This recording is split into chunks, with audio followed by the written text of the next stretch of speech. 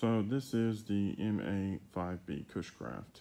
Um, my wife, I don't have social media, so my wife has been helping me ask questions and you guys have responded and I appreciate it. Uh, I'm new to ham radio and you guys have helped out a lot. But a lot of you have requested me to see this Cushcraft up close. Um, I haven't used it yet. I don't know the performance of it yet, but hopefully um, in this video I can help you decide if you want to use it or not, and I can tell you some of the things that I've done and learned in putting it together. So one of the first things I would do is go online and download the copy of this PDF version because this is what they send you in the box. And a lot of the lettering and verbiage in here is not very legible. And you can see this is a much cleaner version. I don't know who put this out there, but if you just Google the manual, the, the font and everything is a lot more readable. And it helped a lot. Um, this one, they can do a little bit more, they need a little bit more quality on this. The second thing I did was uh, went and bought extra bolts. Um, I'm sure that they sent the bolts. The package the bolts came in was ripped. And uh, there's a couple bolts probably floating around in somebody's delivery truck. So I had to go buy extra bolts to uh, finish the assembly. I bought some extra clamps. They call them worm clamps. Um, they're just hose clamps, muffler clamps. Um, I bought extra of these. I was going to double clamp every uh, joint, but when I weighed them out in my other package, it um, almost added an additional pound, believe it or not, uh, to the whole antenna. So I decided not to double clamp all the hose clamps. So one of the first things that I ran into when I was putting this together was uh, these traps. Which direction do they go in? Now, I have very limited knowledge in ham radio, and I've never seen this antenna up uh, in close in person and I don't know anyone personally that does ham radio. I don't have an Elmer, so I was kind of on my own here. And the verbiage they use uh, to tell you which direction this trap goes is a little deceiving. And you kind of got to decipher that they're talking about this EC and this EE and this EC part. So on this side, it shows nothing. It's just a blank trap. So to answer the question, the arrows always point out on either side of trap. It's going to point out. What I did was uh, these connections um, are not that great, so I siliconed and weatherproofed all these connectors here and here. Uh, you just got to add a little bit of weatherproofing to them. From here, this is element one, this is element two, and this is element three. Well, when you get out here, this is just a temporary piece of PVC pipe.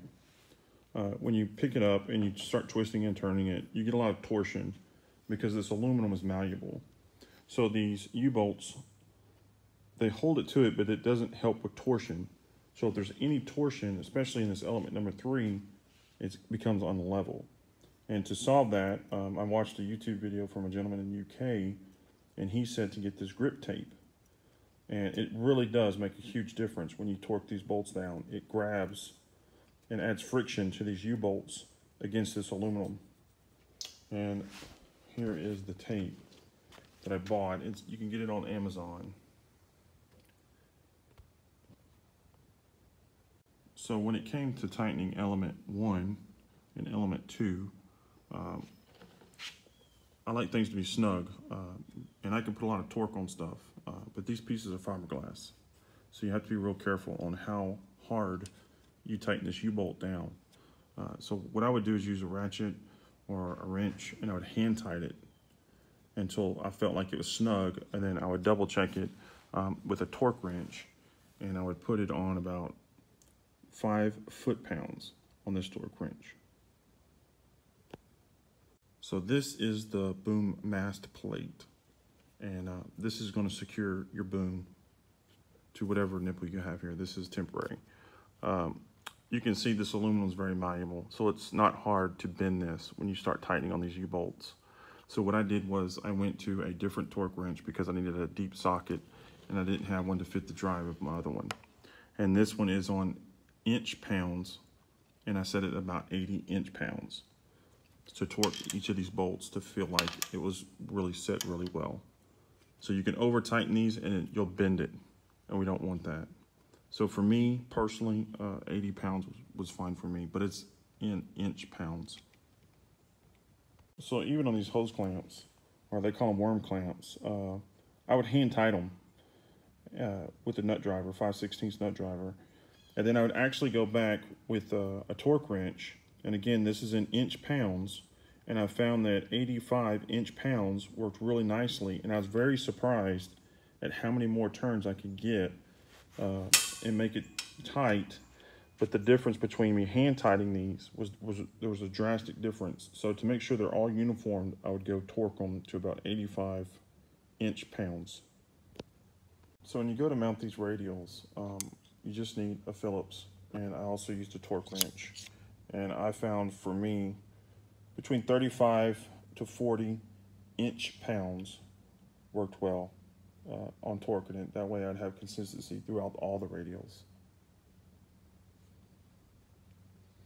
I found some of these would be off the aluminum and then some of them would crush in and be touching the aluminum. But I found a comfort at right about 35 to 40 inch pounds would work great for tightening these. So when you go to mount these traps, um, it's important to get the arrows facing outward, but it's also important for the traps underneath to be facing down. And the, the best way to do that is to take a welding rod. You can hold a welding, a welding rod in each one of these and you can tell if it's straight or not. Or lay down, look up, and check each individual one.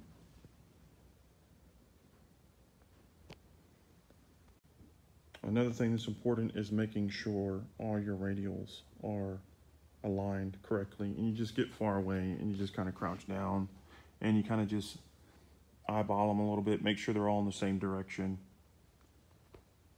that just takes a little bit of uh, tuning with the eyeball, um, especially on this element one, when you go to get this seven inches from here to here, um, it wants to move when you go to tighten it. So just snug this up, get your seven inches, step back, straighten up your radials, and then cramp down on it. And then use your torque wrench or just tighten it by hand. So it's also important when you're hooking this up, as you notice on element one and on element two, um, they're separated here with fiberglass. And uh, don't over tighten these. You will crack this fiberglass. But the wiring, uh, you need to keep the wiring uh, the same. So black is going to be on this side. Black should be the same over there. Red should be on this side. And it should be the same. It should coincide over here.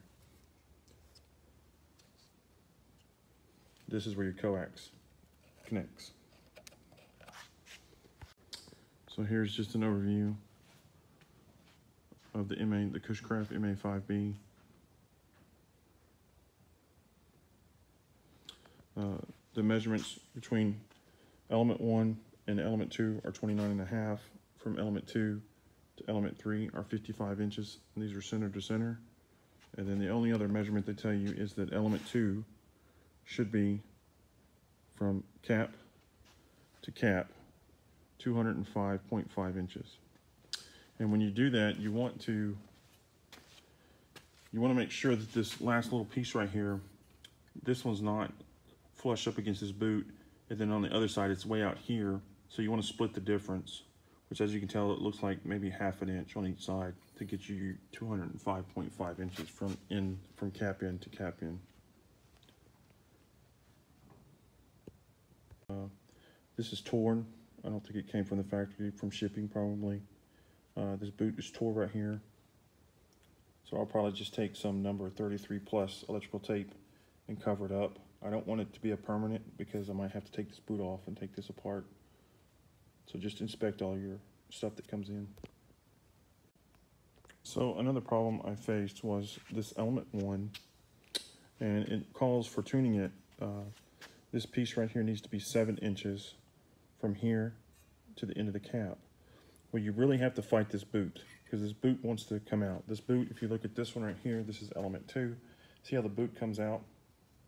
So on element one, you really have to fight this boot because this overall length is seven inches. So you have to push and fight this boot in to get this on, to get your seven inches when you go to set it.